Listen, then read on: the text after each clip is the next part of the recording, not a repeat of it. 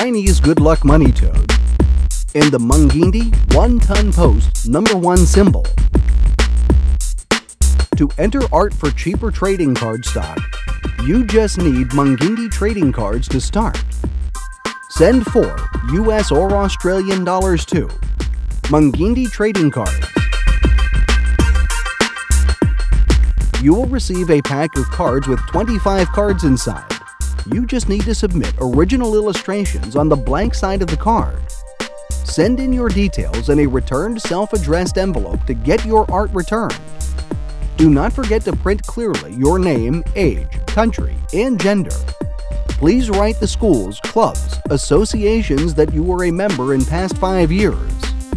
Submitted artworks become the property of Mrs. K. Brown after you receive TITH dollars. Your image is allocated an ID code and added to your online portfolio for boutique trading card artists or for cheaper stock. These accepted artists have their work placed in a folder in a confidential portfolio stored in Brisbane location.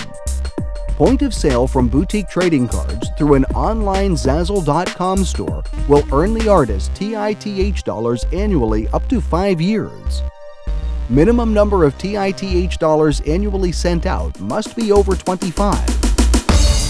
Watch out for promotions requesting images for particular series that can allow you to get TITH dollars and later on swap them for items. Via e-commerce site, you swap the notes for points and order products.